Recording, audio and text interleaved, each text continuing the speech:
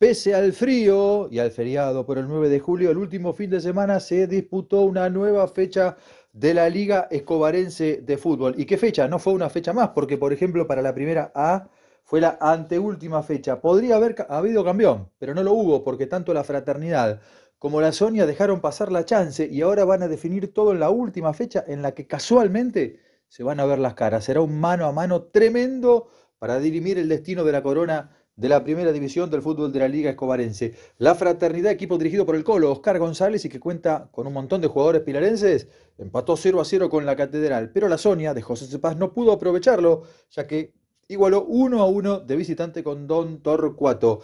Además, Derki le ganó al Atlético Perú 2 a 1 y es el mejor equipo de Pilar en la tabla de posiciones al quedar cuarto.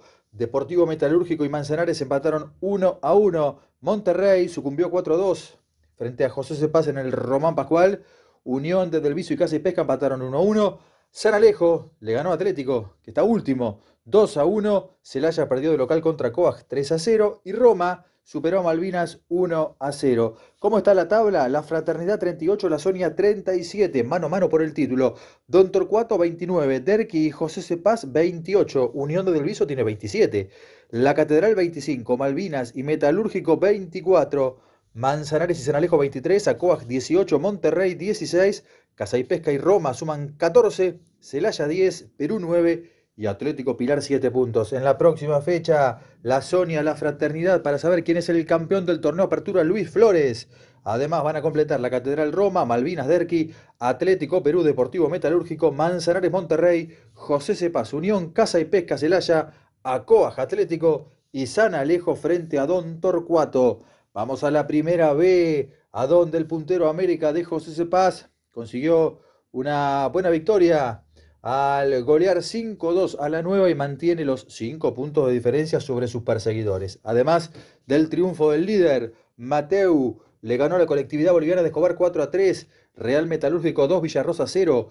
El escolta Unión San Miguel no tuvo piedad del tablón y lo goleó 7 0. Flecha Azul y Unión Ferroviaria empataron sin goles. Escobar Fútbol Club superó a Capitanes de Aguilar de visitante 5 2. Los Altos 5, Villajuana 1. Buena victoria de Abrojal sobre Toro 2 a 1. Somra goleó la campana 6 a 0 y quedó pendiente el partido entre el último Granbur y Reino. América tiene 40 puntos y es el líder. Unión San Miguel 35, Real Metalúrgico y Los Altos 33. Escobar Fútbol Club y Villarrosa suman 31.